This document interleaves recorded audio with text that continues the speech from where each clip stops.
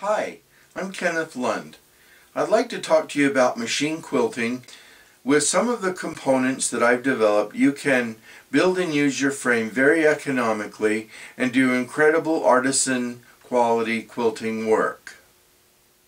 Let me show you uh, the frame that I've developed and explain its different parts, uh, explain the parts that I can provide for you, and then the parts that uh, are better for you to acquire from your local home center store.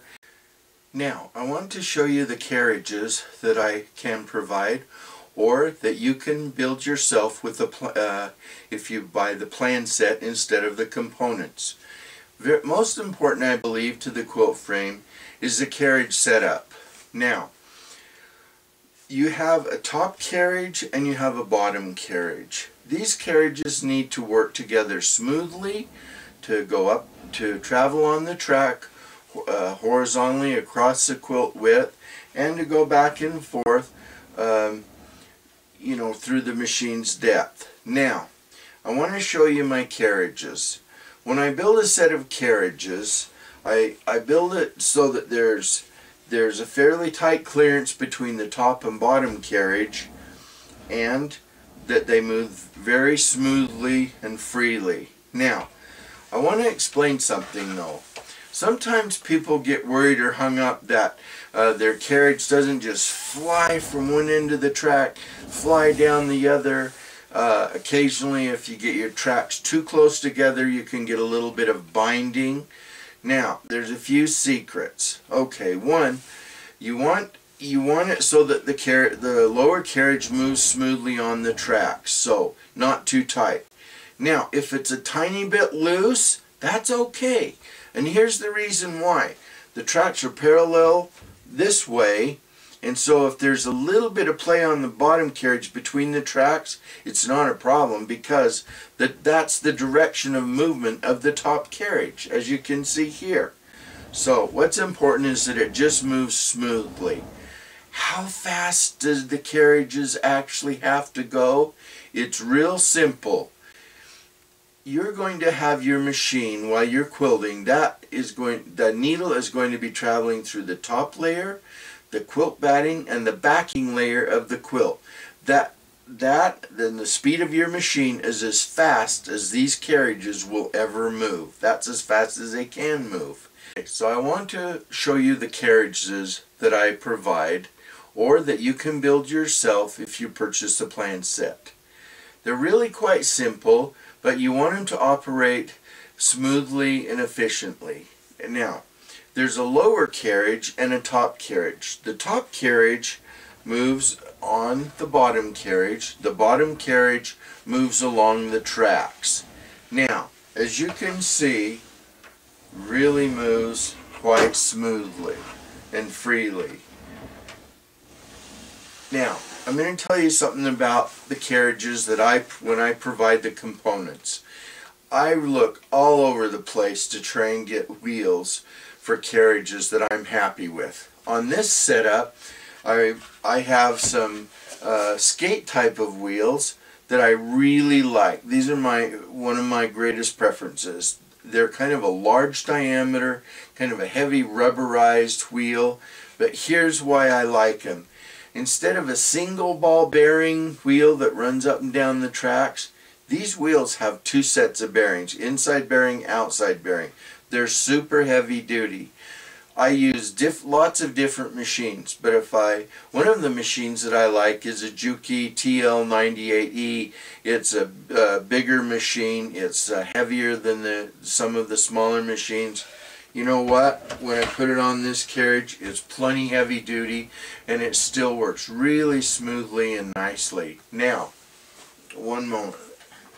Another type of wheel that I'm able to get at times and use is kind of a metal, a metal type of wheel. Again, uh, a nice wheel, a large diameter, it has uh, ball bearing sets inside it. It makes also a nice carriage. So uh, if you buy my components, uh, you're going to get a wheel on it that I would use myself.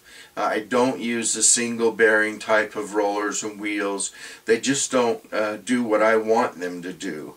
But this is what I prefer, and I've found after two years of building frames and testing frames, really works well. Now, let's talk about the tracks. The tracks are something that you will build and put together yourself for your own frame setups. The reason is is that the tracks are best if they're in a long continuous length without splices. They just it's just smoother that way. There's no little uh, uh, you know splices or gaps to create any kind of a bump or you know take away from the smoothness of the operation. So how do you make the tracks? Really easy and really inexpensively. Let me show you. I start with a piece of an MDF type of molding. This is about three quarter by inch and a half. It comes pre-primed white from my home center store. I believe a six footer is costing me a little over two dollars. Not bad. Now, along with that, let me show you one you'll need an edge, uh, you'll need a, a, piece of wood that goes on the edge. This isn't the exact piece I would use, but it will show you for demonstration. You have a piece that goes on the, the edge of the track. It's screwed on, uh, and this provides the, the barrier for the, you know, to keep the wheel on the track and rolls along, just like what I've been showing you here. Now, here's the neat thing about the frames that you build yourself a lot of people are space limited. I'm space limited. However, um, we're working on some huge quilts. We're working right now on a, a king size quilt of artisan quality that will be quite a project. Not a problem. The tracks and the rolls that you make yourself uh, are so inexpensive. It costs around $20 uh, for all of the track pieces and a set of poles for a 10 foot wide frame. How cool is that? And we'll get into more of the details on the on the poles and the tracks later. But where I'm going with this is that since it's so inexpensive, um, myself and many others prefer to have different sets of tracks and and uh, poles for for different projects. A 60 inch uh, 5 foot wide setup is really great for starting out and super inexpensive. And then you can add to that or you can, you can have even a separate 10 foot length. Um, again, about 20 bucks worth of materials is what it'll cost you to make a 10 foot wide machine quilting four roll setup. Pretty neat, huh? Now, another major component of a machine quilt frame is you have end frames that hold the rolls. Now, um, you want, this is important because those rolls have to have adjustment. Uh, they have to be in the right place and they have to have adjustment.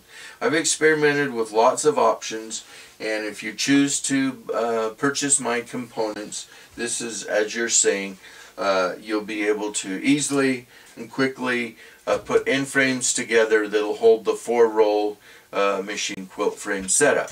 And we'll get into that more later uh, as I show you how the rolls are mounted to the frame and, uh, and then uh, more about the rolls themselves. But I want to just get you to think about something for a minute as we're, as we're talking on this. Okay, you've got your rolls that you mount your quilt layers on. Now, how tight do those layers have to be tightened for machine quilting? How tight does that quilt need to be stretched? You know what? I'll probably differ than some manufacturers on this. I don't have rat ratchet type tighteners on the ends of the rolls because I don't believe a quilt needs to be stretched drum tight. I'll get into later on showing you how the quilt is mounted to the rolls, how the rolls are held in place, and a few little tricks you can do uh, that will hold, you know, besides the tightening on the end frames, will hold the rolls in place even, even tighter.